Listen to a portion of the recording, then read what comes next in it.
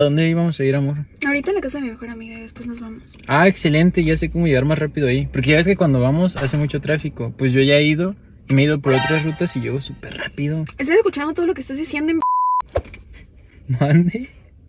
O sea, ruta más rápida, ya he ido varias veces. O sea, ¿qué te pasa? ¿Cuándo has ido? ¿Por qué no me he Ah, enterado? es que ella me invita y me dice, oye, estoy Ah. sola. No creo que. Jenny, Jennifer se enoje. Y tú no me dices.